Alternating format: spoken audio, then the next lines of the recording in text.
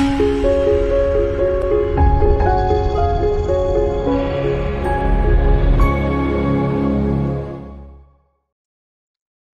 everyone, welcome to AI Sciences. My name is Shazeb Hamid and today we are going to discuss about an article summarization. So to do that, the first thing that we need is we need to install NLTK, TextBlob and newspaper as well. So let's do that first of all. Now after installing all of them, all of these three modules, what we need to do is we need to import Tkinter as TK, we need to import NLTK and from text blob we will import text blob and from newspaper we are going to import article. After that the next step is to download Punkt model the, the, with the help of which we are going to use NLP. So let's run this and maybe it takes a little bit time let it download.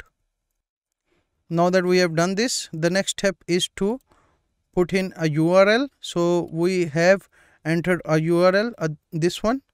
Let's check out that url so this is the article 10 must read machine learning articles. And we are going to try to summarize this article. So let's do this so after that the next step is to uh, put the url in the article library and this will be saved in the article. So let's do that. After that we just need to download the article in the url and the next step is to parse the article so that it will get the appropriate data that is needed for us. So let's run this after that we will use dot .nlp library that will use NL natural language processing. You do not have to do anything here. It will just give you everything is available before. Now after that we can just print out the articles, authors, publish date as well as summary of the article. So to do that we will just write article dot title, article dot author, article dot publish date and article dot summary.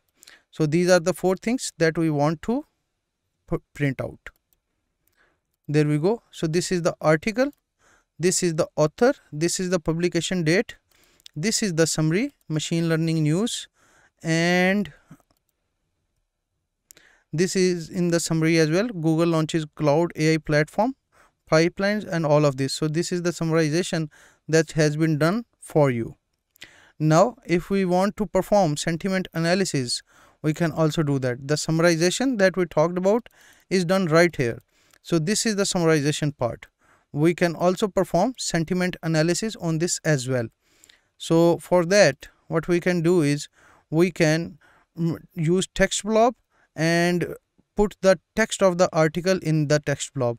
If analysis dot polarity is greater than 0 then it means that it is positive if it is lesser than 0 then it means that it is negative. Otherwise it means that it is neutral. So let's run this. It is saying that your article is positive. So after this if we want to do the summarization more than once what we can do is we can make a function called summarize right? So in the summarize function what it does is it just gets the data put it in article download it parse it and uh, uh, it runs it towards the NLP function.